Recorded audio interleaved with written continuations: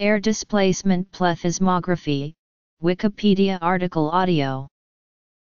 Air displacement plethysmography or ADP is a recognized and scientifically validated densitometric method to measure human body composition. ADP is based on the same principles as the gold standard method of hydrostatic weighing, but through a densitometric technique that uses air displacement rather than water immersion.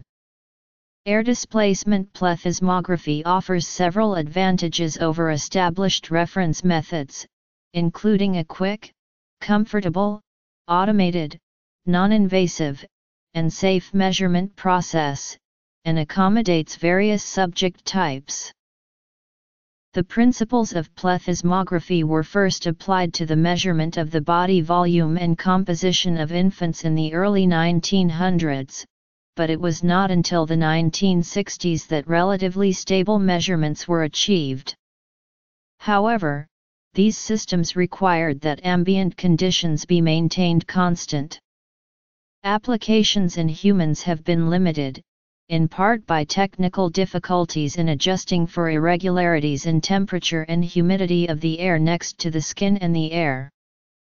Because of inconveniences such as these and various technology difficulties, none of the early air displacement plethysmographs were ever developed for common, everyday use. History. How it works.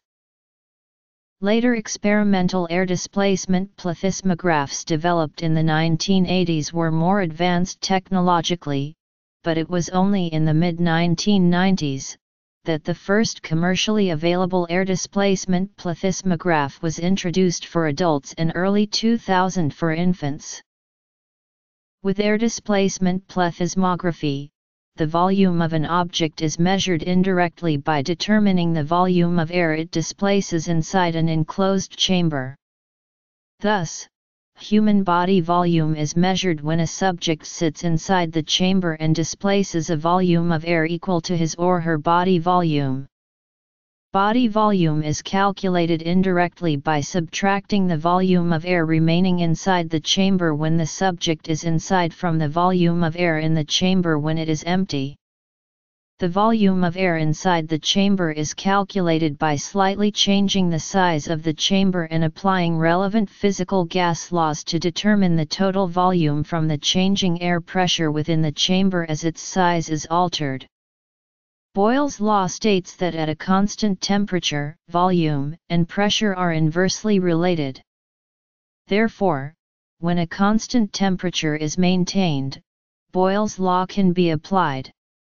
Consequently, most early plethysmographs required temperature-controlled surroundings and isothermal conditions within the test chamber.